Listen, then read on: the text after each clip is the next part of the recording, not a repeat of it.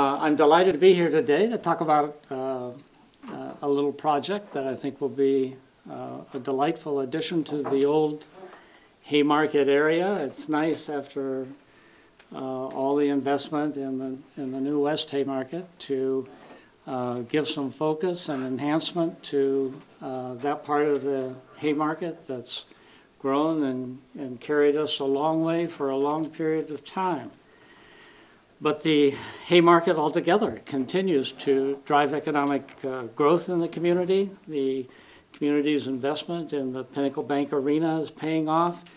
And as entrepreneurs are building at a pace, they're building now at a pace that's, that's well beyond what we could have imagined in 2010 when the arena question was put on the ballot. We've seen a half a billion dollars of new economic development projects in the Haymarket since 2009. It's a great, great story and one that continues today. Now the Haymarket growth is beginning to move south. The Lumberworks Garage is open for business. A senior living facility and retail shops are planned south of O Street on Canopy Street.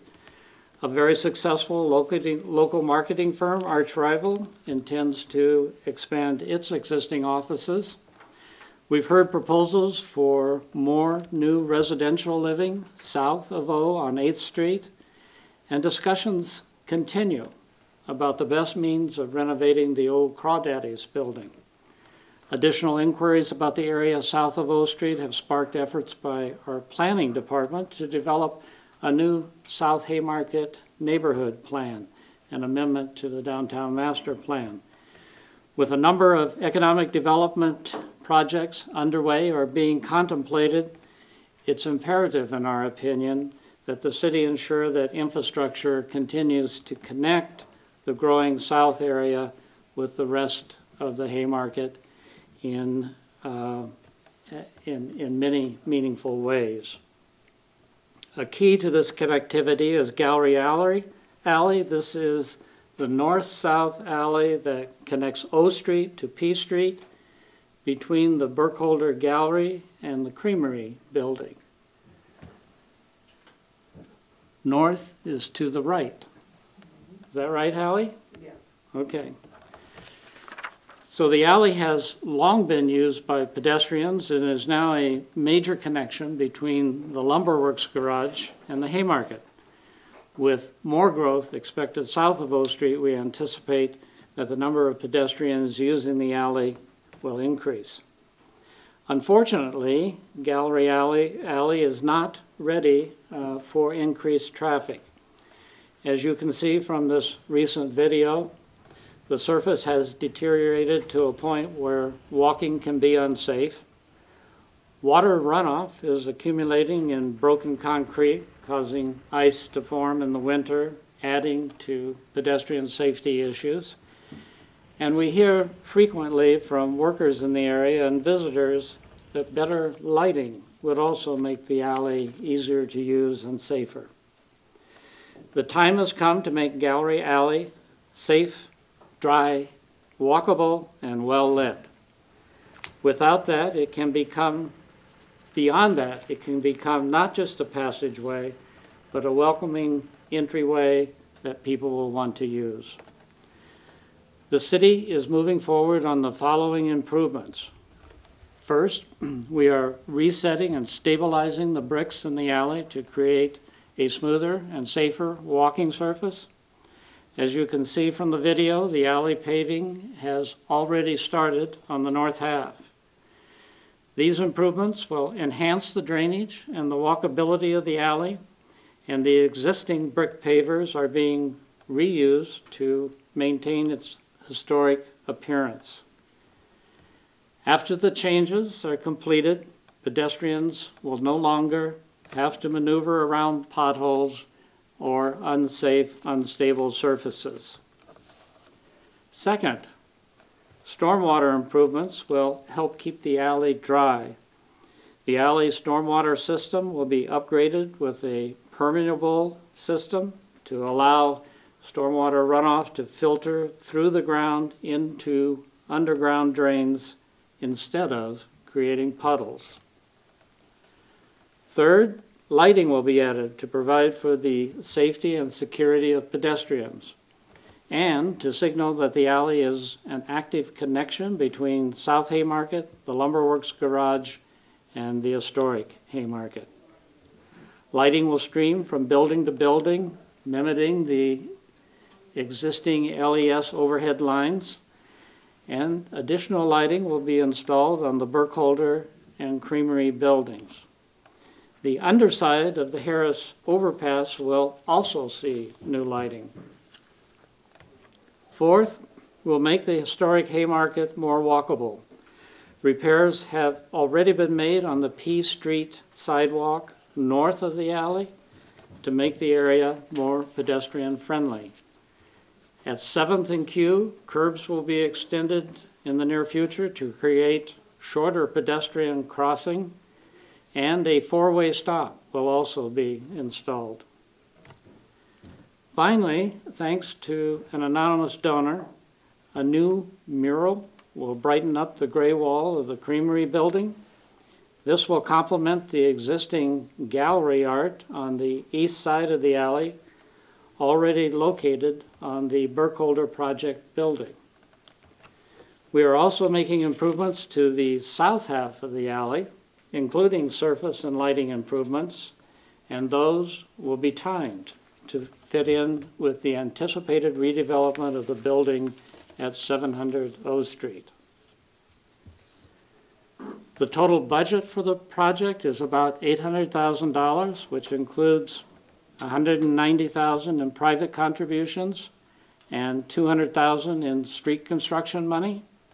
About $316,000 in tax increment financing will be used, mainly on the lighting.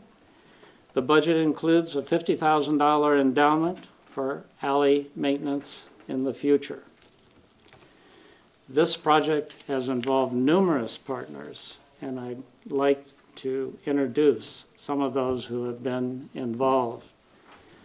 Uh, first, I am so pleased that Ann Burkholder is with us today. Raise your hand, Ann. Uh, as a building owner and as an artist herself, Ann uh, was a pioneer, as most of you know, in the development of the historic Haymarket. And she has been enhancing the alley on her own for decades now. Uh, four decades? Wow. So the name Gallery Alley comes really from Ann and her and her initial work on the on the whole matter. And I must say that uh, we have treasured her experience uh, and her participation and assistance on this project. She's made it work. Uh, I think that uh, WRK, is WRK represented today? Will's not here today? Okay. Uh, Devin Wagner from the Creamery Building is, is here today. Uh, we appreciate your participation in the project uh, and the ideas you guys have put forward and the improvements that we're going to be able to make uh, to the to the building. I hope they're helpful to you. Also with us is uh, uh, Clint uh, Runge with Arch Rival, who I think needs no introduction. And I think one of the reasons he will need no introduction is because he's willing to speak. You're willing to speak today, aren't you? Come on up here. Good to see you. Good to see you. well, hello everybody. I'm Clint Runge, Managing Director, co-founder of Arch Rival. We're a creative agency. We're in the southeast corner of Gallery Alley. We have this really great garage, window garage uh, opener. Basically, we can open this door and look out at the alley. And I can tell you that over the past eight or nine years that we've been there, this alley has attracted such a diverse cross-section of life. Any given time, you can look down the alley and you will see people taking their senior photos out there quite a bit. You'll see, I'll look out and there'll be entire wedding part, part, parties taking photos out there. I'll see photographers and artists painting. I'll see uh, families walking down to the farmer's market. I'll see businessmen on their way to lunch. Um, on the weekends, you'll see a bicyclist or even some skaters out there practicing their moves. Uh, we even saw a, a cat or two kind of cruising down, doing their best impersonation of an alley cat. So I've literally seen everything in that alley. The point is that it's already such, the alley is such full of life already that uh, it only makes sense with the expansion of the Haymarket and the growing interest in what's going on down there that we enhance this uh, alleyway as well. The creativity that's inherent in the area around it with the amazing artists and the uh, different uh, agencies there nearby uh, really make this, uh, I think, such a great opportunity um, to expand on the creative nature of this. So I, think in particular that's a, a, portion we're very excited about. Uh, so with that said, thank you. We're, uh, we're very excited at Arch Rival for it. You're in the seven twenty O Street, right? Yes. The Yep, one on the that's southeast corner there. South of the Burkholder, on this map, it's just left of it. Okay, and Mike Tavlin is here today representing B and J Partnership and Argent, uh, who together are developing the senior housing, retail, and office space connected with the lumber works. Michael? Thank you, Mayor. Um, Everyone, good morning. My name is Mike Tavlin. I'm Chief Financial Officer for Speedway Properties, and I'm here uh, on behalf of Speedway and on behalf of Argent to um, second the motion, so to speak, and add, add our voices uh, in, in support of, and enthusiastic support um, of the plans for, for the alley and for Gallery Alley. Um, You know, the, the enhancement and the improvement of the alley would, would be a great project for the historic Haymarket if that's all that it did. The great news is that's not all that it does. It provides a great outlet for artistic endeavors, and it also will provide, we believe, an important connector between the historic Haymarket and our project, Argent's projects for the senior living facility and retail and office space south of uh, the Harris Overpass, and then to provide access and a corridor on further into the South Haymarket. So I'm here on behalf of Speedway as well as Argent to enthusiastically lend our support to the project and commend all for the work that they've done in bringing it this far. Thank you, Mike. And Darrell Nauman uh, is here today with the Haymarket. He's a Haymarket business owner and uh, would like to say a few words on behalf of the Haymarket Development Corporation.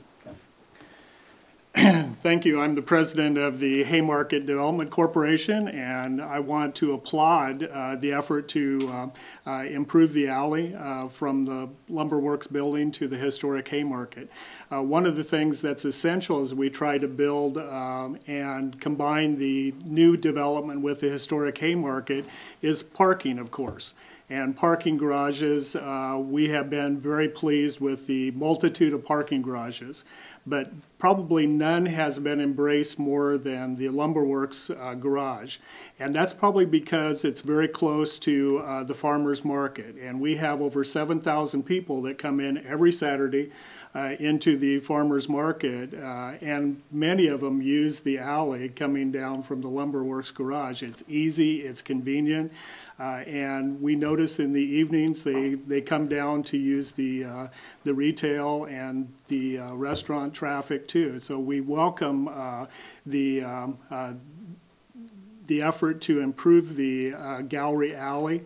Uh, we uh, we really appreciate what Joyce what uh, Burkholder has done over the years, uh, and we, uh, we welcome um, the improvement to the alley. Thank you. Uh, And finally, Dave Landis, our wonderful urban, urban development uh, director. Thank you, Mayor. You might recall that the Lumberworks garage uh, was the second location that we talked about for a garage. First location was on this side of O Street, but it was in an area that was historic. Historic preservation was very important to this administration and to the Haymarket's identity. So the choice was made to move it on the south side of the Harris Overpass. That left us with a couple of questions. How do you propel the public from the Haymarket, but under the Harris Overpass into the garage? Because while that space is used for senior photos and all of the things that Clint was so uh, accurate in portraying, there is a psychological barrier of walking under that Harris overpass. This will propel people easily, comfortably, day and night from using the lumber works and making sure that that resource that we now have fits in with the vital evening activities that make the Haymarket unique. We need to have walkable parking space so that people will get out of their cars and walk. When you do that, a city is vital in several different ways. First, it becomes healthy. Cities that invite you to walk are healthy. The second thing that you want for that vitality, particularly when the sun goes down, is a sense of safety. And by the way, this lighting pattern will make this not just something to gulp and consider, it will invite you down this space. It will become a, a destination, a place you will show your neighbors, something that when your evening meal is done in a Haymarket restaurant, you will pause and walk down and experience because of the transformation that that will happen. So the first thing that you want is you want it to be um, healthy. The second thing you want is that you want it to be safe. The third thing that a space like this does is that it adds value. It creates value. People want to stop at the end of these and experience these occasions. I brought my iPhone up with me because I was in Sacramento recently and I was pulled down an alleyway by the graffiti that was on the wall. You can't see these pictures, but this alley, and I have about 18 pictures of it, has an, uh, an alley full of art. I, I chose to walk down the alley rather than the block because the alley was interesting. It was vital, it was exciting. When I got done and I was paused and I was poking my phone, I said to myself, Oh, I remember, I need some, uh, some supplies. I walked over to Office Supply and I bought $20 of supplies. I went to do my day's activities, and at the end of the day, I stopped and walked the alley, not the block, to experience it a second time. And when I got to the end, I realized I was hungry, and I went to an Italian restaurant and had a $35 Italian meal with a nice glass of wine. The point is that I bought $60 of food and supplies because the alley just made me go a step further and invite myself. The vitality of the urban experience is something that creates safety, it creates walkability and health, and it creates value. And this project will do that. Thank you. It was just one glass of wine? Just one, Mayor. All right, that's, that's our, we've dropped the whole load on you. Any questions? Uh, Mayor, do you envision security cameras in that alleyway? Uh, In all probability. And also, what's the time frame? The time frame for the north half, the north half has already begun and will proceed to the middle of the block. And then the time frame uh, for the south half of the block is somewhat indefinite in, in the sense that we need to respond to uh, development and the pace of development in the south half. And that depends on decisions made uh, by others, so we have to play that by ear.